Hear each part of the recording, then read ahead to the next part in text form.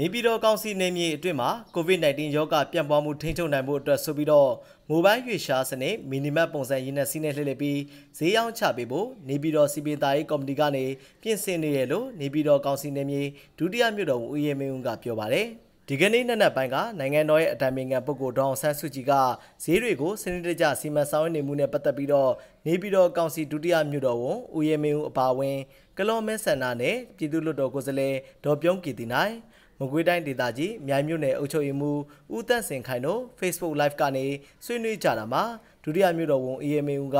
အခုလိုပြောသွားခဲ့တာဖြစ်ပါတယ်။အဲကျွန်တော်တို့အဲ့ဒီအသီးတန်အသီးအရွက်တွေကျွန်တော်ရောင်းမယ်။နောက်တစ်ခါဒီကလပဲတို့ကြက်သွန်တို့ပေါ့ဒါမျိုးတွေကျွန်တော်ရောင်းမယ်။နောက်အသားကတော့ကျွန်တော်နည်းနည်းပဲစမ်းပြီးစတင်ကြည့်မယ်ပေါ့။အခြေအနေဘယ်လိုရှိမလဲကျွန်တော်စောင့်ကြည့်မယ်ဗျ။ပြီးတော့မှအသားကိုတူးမယ်ပေါ့။ကျွန်တော်တို့တစ်ချက်ဟိုစိတ်ပူတာကကျွန်တော်တို့ကားကြီးတွေသွားတဲ့ကျွန်တော်ကားကြီးတွေသွားရောက်တဲ့အချိန်မှာ မူလရှိပြီးသားဈေးတွေတွေကိုထိကြိုက်မှလည်းကျွန်တော်တို့ကစိုးတယ်။ဘာကျွန်တော်တို့ကတော့ဒါအကြံဉာဏ်တစ်ခုအနေနဲ့နိုင်ငံတော်အနေနဲ့ဒါအစိုးရအနေနဲ့ဒါမျိုးစဉ်းစားပြီးလုပ်တာ။ဒါပေမဲ့ဟိုဘက်မှာကျတော့စားဝင်နေပြီ။သူစီးပွားထိကြိုက်လို့တော့မဖြစ်ဘူးပေါ့။အဲကျွန်တော်တို့ကနည်းနည်းစမ်းကြည့်ပြီးသူတို့မသွားတဲ့ဒေသတွေကျွန်တော်သွားမယ်ပေါ့။အများကြီးကတော့လူသိပ်ပြီးတော့မိသားစုသိပ်မများတဲ့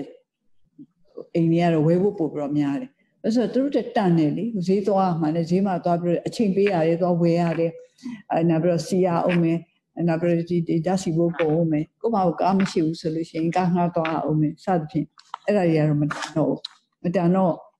ဝယ်မယ်ဟိုဒီကားလာလို့ရှိရင်ဝယ်လိုက်ဖို့က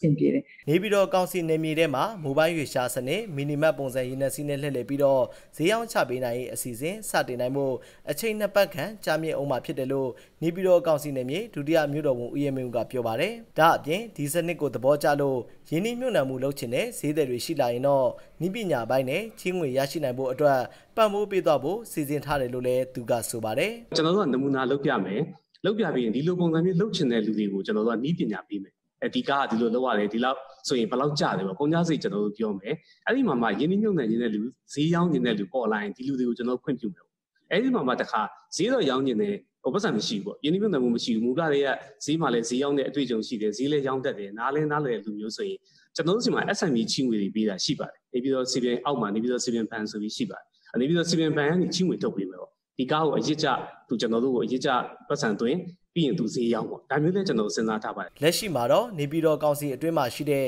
မြို့နယ်ရှစ်မြို့နယ်မှာပုဂ္ဂလိကမိုဘိုင်းစနစ်နဲ့လှည့်လည်ပြီးတော့ဈေးရောက်နေတဲ့မော်တော်ယာဉ်အစီးရေဆက်တက်ဈေးရှိသလိုဆိုင်ငယ်အစီးရေကတော့အစီး130ရှိနေရလို့နေပြည်တော်စီပင်သားရေးကော်မတီရဲ့စီးရင်ကောက်ယူထားမှုအရသိရပါတယ်ဒါအပြင်နေပြည်တော်စီပင်သားရေးကော်မတီလက်အောက်မှာတရားဝင်ခွင့်ပြုချက်နဲ့ဖွင့်လှစ်ထားတဲ့ဈေးပေါင်း35ဈေးရှိပြီးတော့ကုန်တိုက်ကြီးတွေကတော့9ခုရှိပါတယ်ကျွန်တော်သတင်းတော်ဟင်းသက်ဦးပါ